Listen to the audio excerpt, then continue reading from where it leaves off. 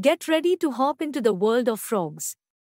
These amazing creatures are famous for their incredible jumping abilities. With their powerful hind legs, they can leap great distances and are known for their agility and speed. But did you know that some species of frogs can change colors, or that their skin produces a toxin that can be used in medicine? These fascinating creatures have so much more to offer than just their jumping ability. So, let's get started with some amazing characteristics of frogs. Frogs are an extraordinary type of animal that has the special capability to survive in both land and freshwater habitats. This remarkable characteristic categorizes them as a member of the Amphibia class in the phylum Chordata, which you have already studied in your Animal Kingdom chapter. Frogs are well suited for diverse environments, equipped with features like smooth and moist skin, webbed feet, and long hind legs that are built for jumping. In India, Rana tigrina is the most prevalent type of frog, although numerous other species exist worldwide, each with its own distinct qualities and adaptations. So, as you already know the classification of a frog from the previous chapter, let's recall the classification of frog, specifically the Indian frog once again, so that you will never forget it. A frog belongs to the animal kingdom, just like us humans and other animals. Within this kingdom, it falls under a phylum called Chordata, which includes animals with a backbone. Since frogs have a spine or a backbone, they belong to this phylum. Also, they belong to subphylum Vertebrata. Frogs also belong to a superclass called Tetrapoda, which includes all animals with four limbs, as frogs have four legs, they are a part of this superclass. Moreover, frogs are a part of the amphibia class, which includes animals that can live both on land and in water. This means that they have certain adaptations that allow them to survive in both environments. When we look at the specific classification of frogs, we can see that they belong to the Ranidae family, Rana genus, and Rana tigrina species. This classification system helps us identify and categorize different types of frogs, allowing us to understand their unique characteristics and adaptations. Now coming back to the characteristics, some animals do not have a fixed body temperature like humans do, and their body temperature changes according to the temperature of the environment they are in. We call these animals cold-blooded or poikilotherms. Frogs are one such example of a cold-blooded animal. Let's now discuss another characteristic. Have you ever noticed how a frog's color changes when they are on dry land or hiding in the grass? This is because frogs have a unique ability to change their color to blend in with their surroundings, making it difficult for their enemies to spot them. This natural defense mechanism is called mimicry, and it helps the frogs to protect themselves from predators. Let's talk about how frogs protect themselves in extreme environments. Frogs, like many other animals, have their own way of dealing with extreme temperatures.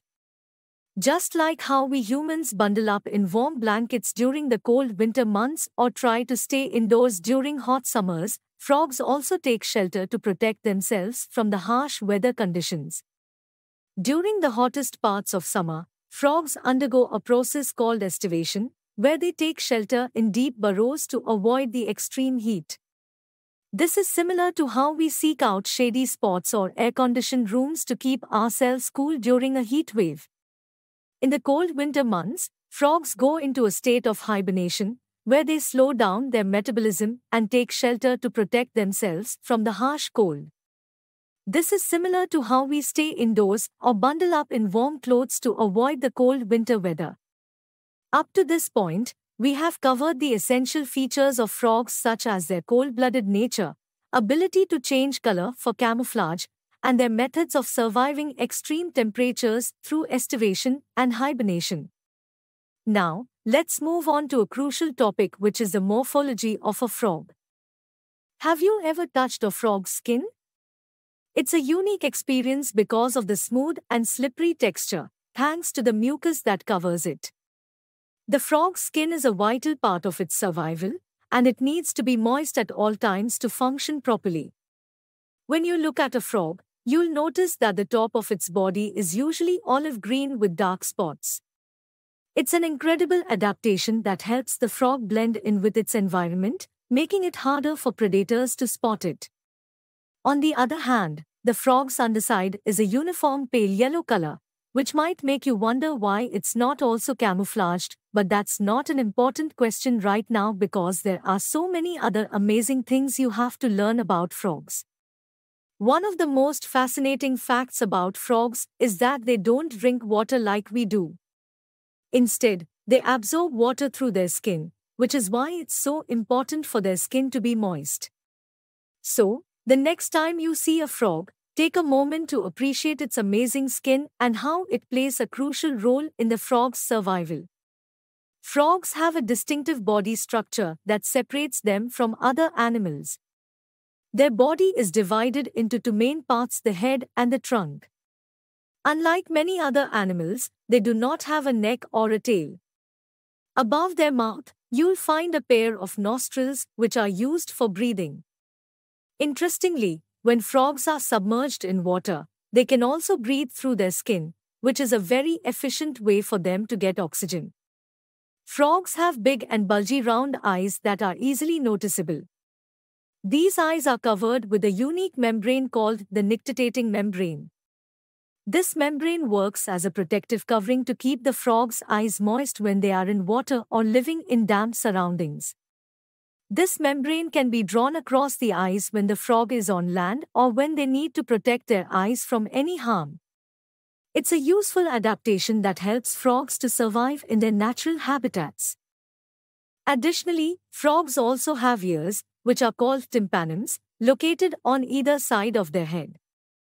The tympanums are membranous structures that allow frogs to hear sound signals, which is important for communication, mating, and detecting predators. Frogs are remarkable creatures with unique adaptations for different modes of movement. Their forelimbs and hind limbs are not just for swimming, but also for walking, jumping, and burrowing. The hind legs are particularly powerful and larger than the forelimbs, with five digits and webbed toes that help them swim efficiently. On the other hand, the forelimbs have four digits and are weaker than the hind legs. Interestingly, during breeding season, male frogs produce sounds to attract females using vocal sacs, which are absent in females. These sacs are located in their throat and are capable of amplifying sound. Males also have a copulatory pad on their first digit, which they use to grip onto the female during mating. This feature helps them a lot as their skin is slippery they can't hold the female in any other way. This pad is absent in females, making it a notable physical difference between the sexes. This phenomenon is known as sexual dimorphism, where there are physical distinctions between males and females of the same species. These differences can be attributed to various factors such as natural selection, sexual selection, and genetic drift. We hope that you have understood the topic of morphology of a frog. Now, here is a secret on how you can study effectively with the EduRev app. You can learn with chapter notes, watch video lectures, and solve NCERT based MCQ tests of this chapter on EduRev. And that's not all, you also get amazing courses for class 11 and 12 biology, and much more for your NEET preparation. Thank you.